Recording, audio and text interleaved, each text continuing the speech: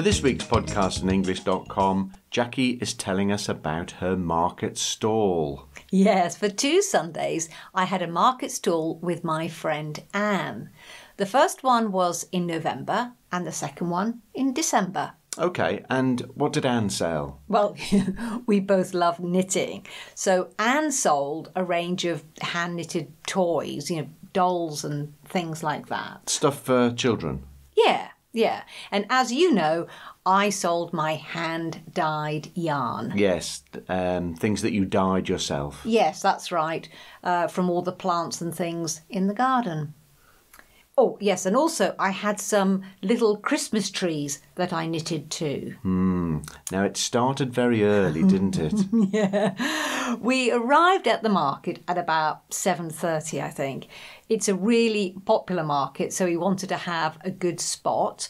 And Dorry was there, uh, Anne's friend Dorry, to help us. That was nice. It took quite a long time to get everything ready, but by what 8 a.m., 8 o'clock, we were ready. You said you uh, wanted to get a good spot. What was a good spot? Well, you can choose to be inside or outside, and uh, we wanted to be uh, inside. I'm not surprised. It must have been quite cold at that time in the morning. Um, so, what were the stall? The other stalls? What were they selling? Well, um, lots of other uh, handmade things, actually. Uh, Christmas decorations. Remember, this is the end of the year, Richard. Craft beer Ooh, made from a man from Belgium, plants, all sorts of things, but mainly what we call bric-a-brac. you call bric-a-brac. I call junk, second-hand stuff. Yeah, household items, pictures, etc., plates, vases, bicycles, furniture, you name it, and it's there. Things that I can't understand why anyone would buy them. Anyway.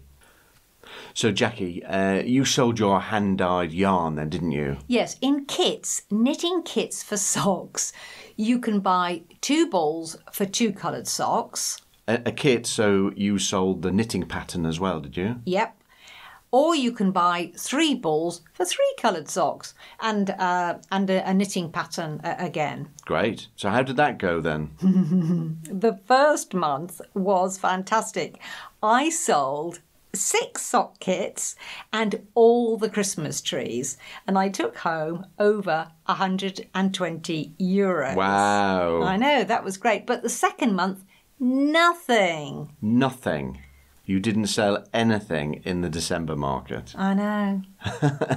Oh dear. What about your friend Anne? Well, she did better the first time too in November. She sold lots of dolls, but in December, not so many.